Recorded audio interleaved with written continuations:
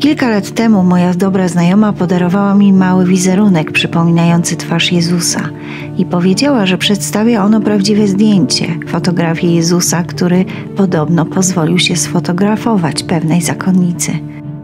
Z zaciekawieniem rozpoczęłam poszukiwania tej historii i przy okazji odkryłam, że takich zdjęć jest o wiele więcej. I chociaż żadne z nich nie ma potwierdzenia Kościoła, to zadziwia fakt, że są one zrobione przez różnych ludzi na całym świecie w odstępstwie kilkudziesięciu lat. I pomimo, że przedstawiają twarz Chrystusa w różnym wieku i z różnymi wyrazami twarzy, podobieństwo cech, a nawet ubioru na tych zdjęciach jest absolutnie uderzające. Trudno było znaleźć szczegółowe informacje do niektórych z nich, ale oto kilka, którymi się pragnę z Wami dzisiaj podzielić. Podobno ta niezwykła fotografia pojawiła się w tajemniczy sposób na taśmie filmowej należącej do zakonnicy, która odwiedzała święte miejsca Europy. Nigdy nie pamiętała, żeby gdzieś widziała lub fotografowała ten wizerunek i nie wiedziała, jak się tam znalazł. Czy rzeczywiście jest to prawdziwa fotografia Jezusa? On tylko wie. Wiemy, że Jezus potrafi zaskakiwać i może akurat miał ochotę właśnie w taki sposób się pokazać. Na pewno przyciągają jego piękne, pełne głębie oczy.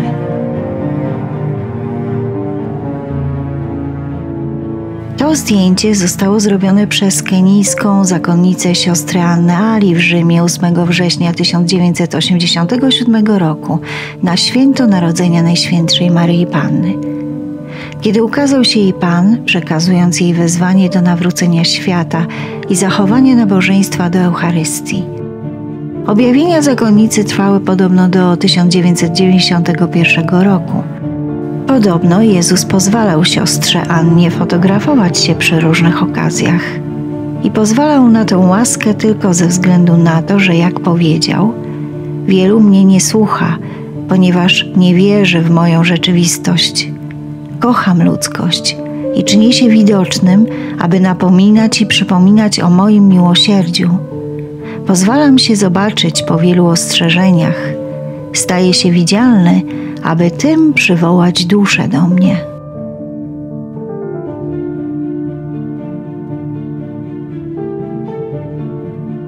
To zdjęcie było zrobione przez nieznanego Eugenio Siragusa we Włoszech w 1960 roku.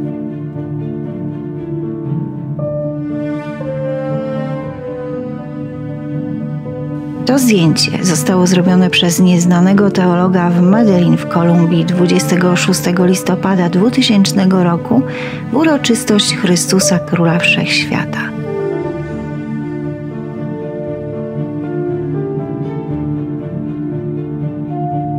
Ta twarz Jezusa z Nazaretu pojawiła się w cudowny sposób – kiedy robiono zdjęcia powrotu kielicha do tabernakulum hiszpańskiego kościoła splądrowanego podczas hiszpańskiej wojny domowej w latach 1936-39.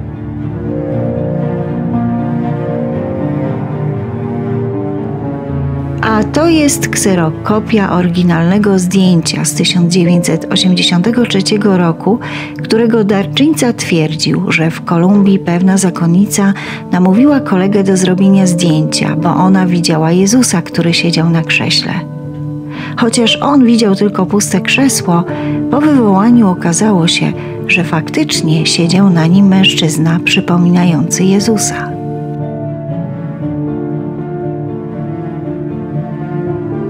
Połowie października 1982 roku małżeństwo pielgrzymujące do Ziemi Świętej wywołało rolkę filmu. Ta fotografia była w grupie zdjęć, które zrobili, ale żadne z nich nie widziało nigdy wcześniej tego wizerunku.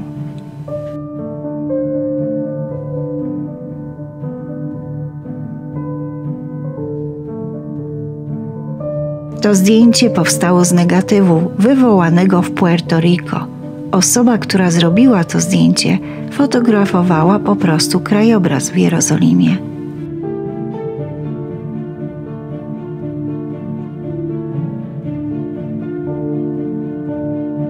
Zdjęcie to zostało uzyskane przez NASA w 1978 roku za pomocą technik przetwarzania obrazu z negatywów fotograficznych całunu toruńskiego.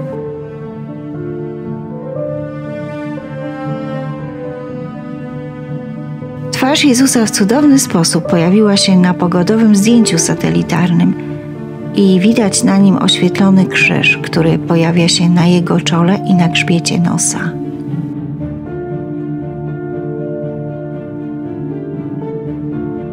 W 1972 roku kobieta leciała samolotem na Jacksonville na Florydzie. Podczas lotu szalała burza z piorunami i postanowiła zrobić kilka zdjęć błyskawicy za oknem samolotu. Poza błyskawicami nie widziała nic nadzwyczajnego. Później, kiedy wywołała zdjęcia, była zdumiona tym, co zobaczyła.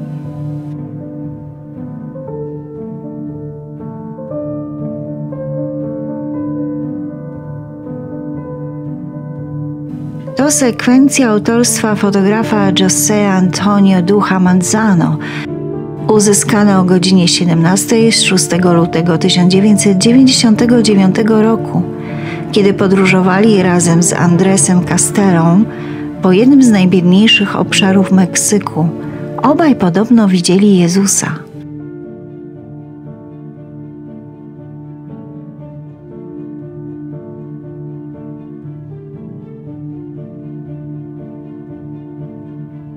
Zdjęcie to zostało wykonane podczas rekolekcji o życiu woli Bożej. Na zakończenie trzech dni rozmów o woli Bożej, wygłoszonych przez księdza Gustavo w Leon Guanatiato w Meksyku.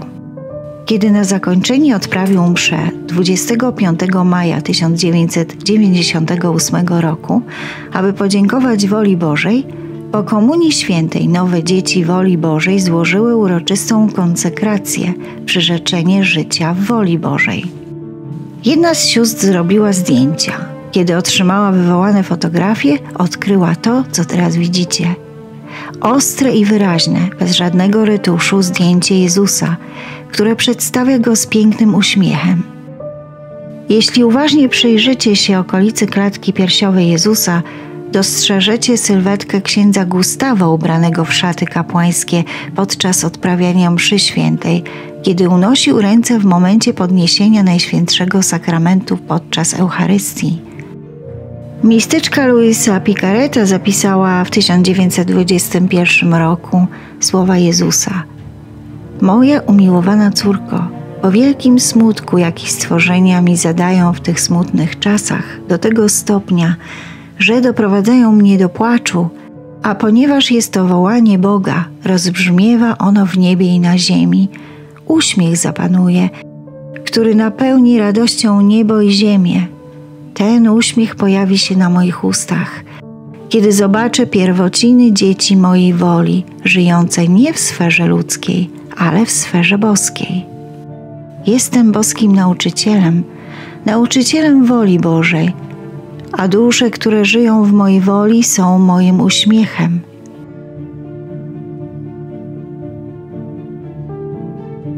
To zdjęcie wprawdzie przedstawia obraz amerykańskiego malarza Bosserona Chambersa, ale ciekawe, że rzekomo pojawiło się na filmie kręconym podczas ekspozycji Najświętszej Eucharystii.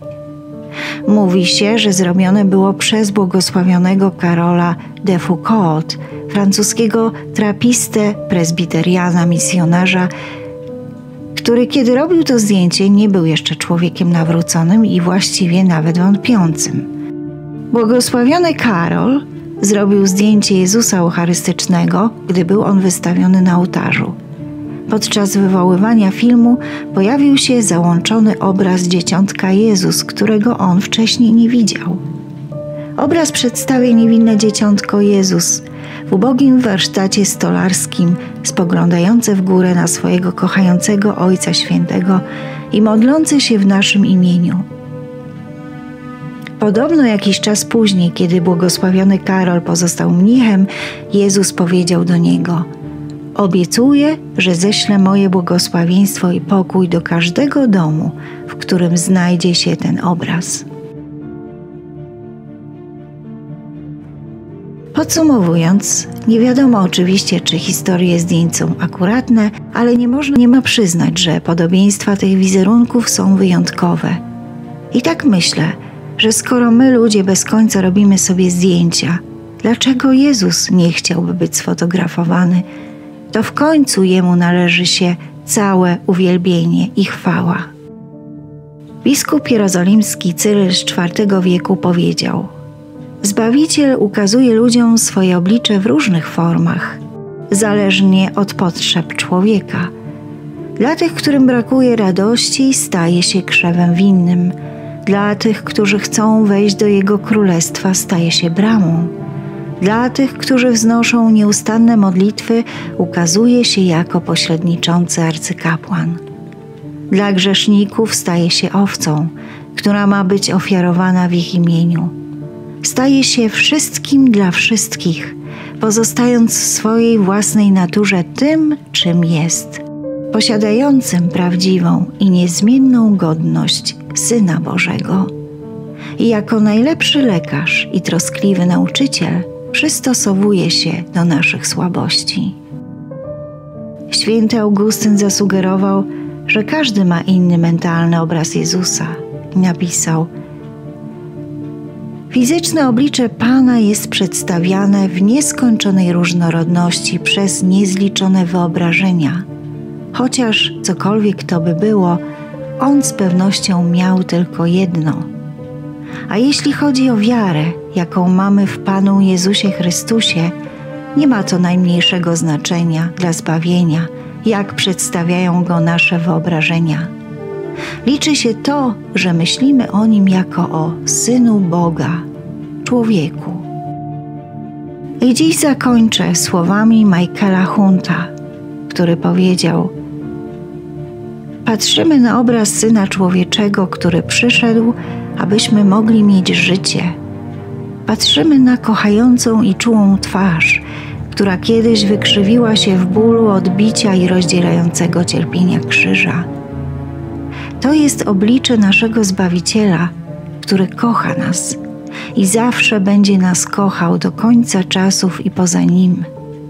To jest oblicze, które nas powita, gdy przekroczymy próg wieczności.